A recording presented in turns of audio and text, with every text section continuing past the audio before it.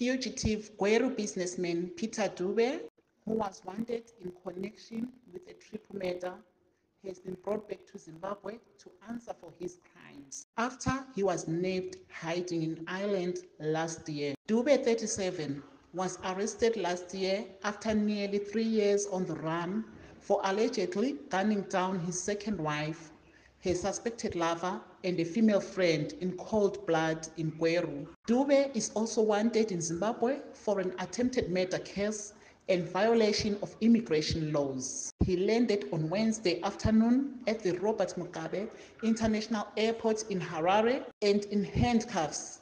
Members of the police read him his rights. pamusana panyaya pemhosva iyoyi yaupomerwa asi kusataura kwako kwamhosva iyoyi kuchaita kuti kunyarara kwako kana uzozvitaura materesi mose asazozvitora une marights aunobvumirwa unobvumirwa kunyarara. Unobvumirwa kuti unopinda mukoti in 48 hours kana usina kupinda mukoti in 48 hours une mvumo wekuaprocha haikoti kuti upinde mukoti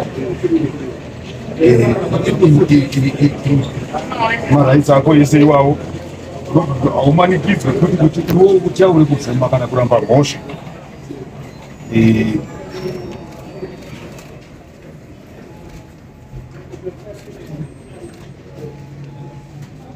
handiti saka baba unodzidziswa zvese kuti ndozvichaita kuti iwe Gentlemen, Homovisa, I want to thank uh, Zimbabweans for their patience as we were conducting investigations at the Zimbabwe Public Police.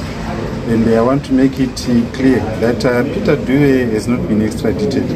What happened is that uh, he has been deported from the Republic of Mozambique due to fake identity and the travel documents. So precisely, these are the facts on the ground. Uh, anything uh, in terms of the investigations, in terms of the court appearance, will be advised to the public and the media in due course.